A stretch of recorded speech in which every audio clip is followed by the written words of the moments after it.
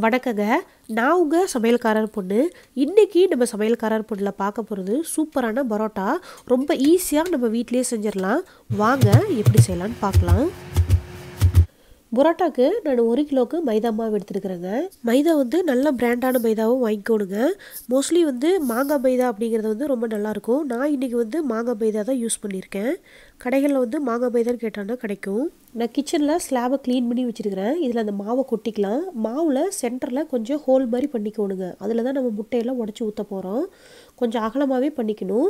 இதில் ஒரு லிட்டர் அளவு தண்ணி எடுத்து வச்சுருக்கேன். பட் இவ்வளோ தண்ணி தேவைப்படாது. ஒரு அரை லிட்டர் தான் தேவைப்படும். மாவை பொறுத்து இருக்குங்க. இப்போ நான் கொஞ்சமாக தண்ணி ஊற்றிருக்கேன் இதில் ஒரு டீஸ்பூன் அளவுக்கு உப்பு போட்டுக்கலாம்.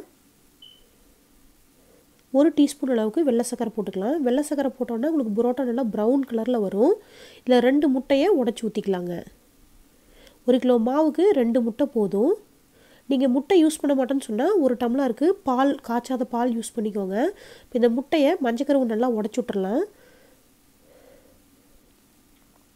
உடச்சி விட்டு அந்த மாவை சேர்த்தி இந்த நம்ம ஊற்றிருக்கிறோம் இல்லைங்களா இந்த முட்டை தண்ணி எல்லாத்தோடையும் சேர்த்தி கொஞ்சம் கொஞ்சமாக அப்படியே பிணைஞ்சிட்டே வரணும்.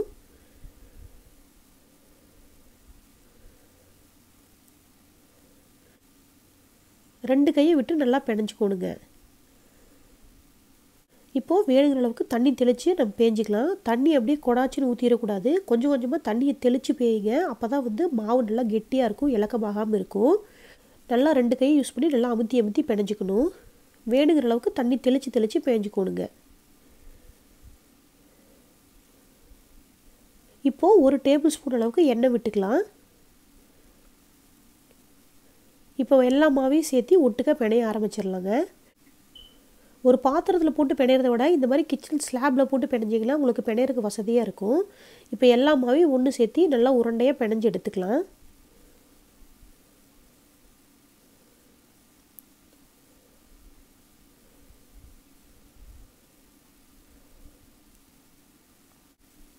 இப்போ மாவு நல்லா ரெடி ஆயிடுச்சு பார்த்திங்கன்னா நல்லா உருண்டு வருது. இப்போ இது மேலே கொஞ்சமாக எண்ணெய் விட்டுக்கலாம்.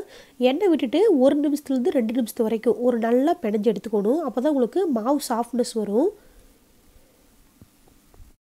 நல்லா உள்ளால் அமுத்தி அமுத்தி பிணையிடுங்க உள்ளே வர மாதிரி உள்ளே வர மாதிரி பால் மாதிரி அப்படியே அமுத்தி அமுத்தி பிணையிடும் இப்போ மாவு ரெடி ஆயிடுச்சு அப்படியே பால் மாதிரி பண்ணி ஓரமாக வச்சிடலாம் பாருங்கள் பெருவிரல் ரெண்டு பெருவிரலை வச்சு உள்ளால் அமுத்தி அமுத்தி பிணையிற மாதிரி பிணையணும். அப்போ தான் உங்களுக்கு அழகாக பால் ஷேப்பில் வரும். இப்போ மாவு ரெடி ஆயிடுச்சு இதோட கன்சிஸ்டன்சி எப்படி இருக்கும்னு பார்த்தீங்கன்னா நம்ம சப்பாத்தி மாவோட கொஞ்சம் லூஸாக இருக்கணும். இப்போ கை விரல் உள்ள விட்டு பார்த்தீங்கன்னா டக்குன்னு மேலே எலும்பி வருது பார்த்தீங்களா இந்த மாதிரி இருக்கணும். மாவு ரொம்ப இலக்கமாகவும் போயிடாமல் கெட்டியாகவும் போயிடாமல் இருக்கணும். இப்போ இது மேலே நிறைய எண்ணெய் தொடவி வச்சுருங்க. அப்போ தான் மாவு காயாமல் இருக்கும். இப்போ இதுக்கு மேலே ஒரு வெள்ளை துணியை நனைச்சி மேலே போட்டு மூடி ஒரு ஒரு மணி நேரத்துலேருந்து ரெண்டு மணி நேரம் ஊற வைக்கலாம். மாவு எவ்வளோ ஊறுதோ அந்த அளவுக்கு உங்களுக்கு சாஃப்ட்னஸ் வரும். அப்படி வெள்ளை துணி இல்லாட்டி இந்த மாதிரி ஒரு பாத்திரத்தை வச்சு மூடிடுங்க நான் இன்றைக்கி ஒரு ஒரு மணி நேரம் ஊற வைக்க போகிறேன் இப்போ ஒரு மணி நேரம் மாவு நல்லா ஊறிடுச்சு. இப்போ பீடா போட்டுடலாம். இப்போ பீடா போடுறதுக்கு நம்ம மாவை கொஞ்சம் சின்ன சின்ன பீஸாக கட் பண்ணிக்கோணுங்க. ஒரு கிண்ணத்துலேயும் எண்ணெய் ஊற்றி ரெடியாக வச்சுக்கோணும் இப்போ பீடா போட்டுடலாம். இப்போ பார்த்திங்கன்னா மாவை நல்லா உருட்டிக்கணும். உருட்டிட்டு பெருவிரலை வச்சு வச்சு உள்ளே அமுத்தணும். இந்த மாதிரி பெருவிரல் வச்சு வச்சு நீங்கள் அமுத்துட்டிங்கன்னா உங்களுக்கு மேலே அழகாக பால் மாதிரி வரும். இதை கட் பண்ணி எடுத்து வச்சிடலாம். இதுதான் வந்து ஒரு பீடா. ஒரு கிலோ மாவுக்கு இந்த மாதிரி நம்ம பிடிச்சோன்னா இருபதுலேருந்து இருபத்தஞ்சி பீடா உங்களுக்கு கிடைக்கும். இந்த சைஸுக்கு நீங்கள் பீடா பிடிச்சிங்கனாவே நம்மளுக்கு பரோட்டா வந்து கடையில் வாங்குகிற சைஸ் கிடைக்கும். ரொம்ப பெரிய பெரிய பீடாவாக பிடிச்சிட்டிங்கன்னா பரோட்டாவும் ரொம்ப பெருசாக போயிடும் மொத்த மொத்தமாக இருக்கிற மாதிரி இருக்கும். இந்த மாதிரி சின்ன சின்னதாக தான் கரெக்டாக இருக்குங்க. இப்போ பீடாலாம் பிடிச்சாச்சு. இதை நல்லா எண்ணெயில் தொடச்சி தொடச்சி ஓரமாக அடுக்கி வச்சிடலாம். ஏன்னா எந்த அளவுக்கு நம்ம எண்ணெயில் நினச்சி வைக்கிறோமோ அந்த அளவுக்கு உங்களுக்கு இலக்கமாக வரும். விசிறும் போது பரோட்டா நல்லா இலக்கமாக வரும்.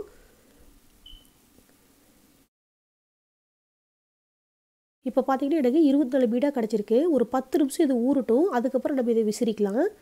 இப்போ நல்லா ஊறிடுச்சுங்க இதை விசிறதுக்கு முதல்ல நம்ம நல்லா பரப்பி விட்டுக்கணும். எண்ணெயை தொட்டு நல்லா கையில் உள்ளங்கையை வச்சு வச்சு நல்லா அமுத்துனிங்கன்னா நல்லா பரப்பிக்கலாம். நம்மளால் முடிஞ்ச அளவு கொஞ்சம் அகலமாக பண்ணிக்கணும். நல்லா தட்டிக்கணும். அதுக்கப்புறம் இதை நம்ம வீச ஆரம்பிச்சிடலாங்க. விசிறதுக்கு பார்த்திங்கன்னா இடது கையோட நாலு விரல் கீழே போயிடணும் பெருவிரல் மேலேயும் வலது கையோட நாலு விரல் மேலேயும் பெருவிரல் கீழேயும் போயிடணும் அப்படியே நீங்கள் விசிறினீங்கன்னா அழகாக உங்களுக்கு எலாபரேட் ஆகிட்டே வரும்.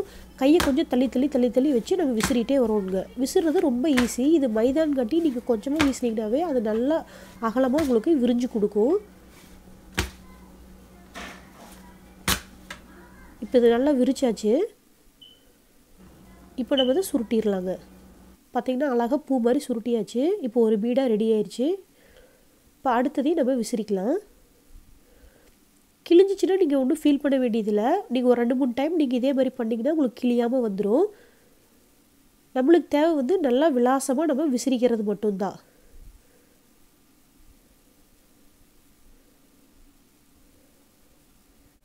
இப்போ நம்ம எல்லாமாவே விசிறிட்டுங்க. இப்போ புரோட்டா தட்டி போட்டுடலாம் நம்ம உருண்டை பிடிச்சி வச்சுக்கிற பீடாவெல்லாம் கொஞ்சம் உள்ளங்கையில் எண்ணெய் தொடவிட்டு அமுத்துனீங்கன்னா உங்களுக்கு அழகாக அமுந்து வரும்.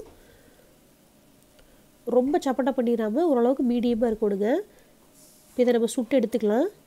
தோசைகள் நல்லா சூடாக இருக்குது. இதில் கொஞ்சமாக எண்ணெய் ஊற்றிக்கோங்க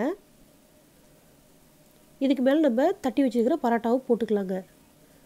அடுப்பு ஓரளவுக்கு மீடியமாக வச்சு ரெண்டு சைடும் வேக வச்சு எடுத்துக்கணும். மேலே கொஞ்சம் எண்ணெய் விட்டுக்கணுங்க ஏன்னா எண்ணெய் விட்டு விட்டு வேக வச்சா தான் உங்களுக்கு பரோட்டா நல்லா சாஃப்டாக வரும். இல்லாட்டி கல் மாதிரி ஆயிரும் மேலெல்லாம். இப்போ பின்னாடி சைடு திருப்பி விட்டு இங்கேயே கொஞ்சம் எண்ணெய் விட்டு நல்லா வேக வச்சு எடுத்துக்கலாம். நல்லா திருப்பி திருப்பி போட்டு வேக வச்சு எடுத்துக்கணுங்க. அப்போ தான் தீஞ்சு போகாமல் இருக்கும். இப்போ பரோட்டா ரெடி ஆயிடுச்சு எடுத்துடலாம். இப்போ அடுத்த பரோட்டாவையும் சுட்டு எடுத்துக்கலாங்க.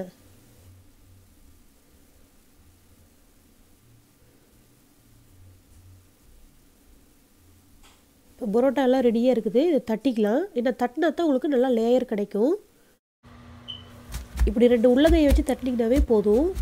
பரோட்டா நல்லா சூடாக இருக்கும் போதே தட்டிக்கோடுங்க ஆறுனதுக்கப்புறம் தட்டினீங்கன்னா உங்களுக்கு லேயர் லேயராக கிடைக்காது. இவ்வளோ தான் எல்லாமே தட்டியாச்சுங்க. பரோட்டா ரெடி ஆயிடுச்சு பார்த்தீங்கன்னா எவ்வளோ சாஃப்டாக இருக்குது பாருங்கள் நல்லா லேயர் லேயராக வருது.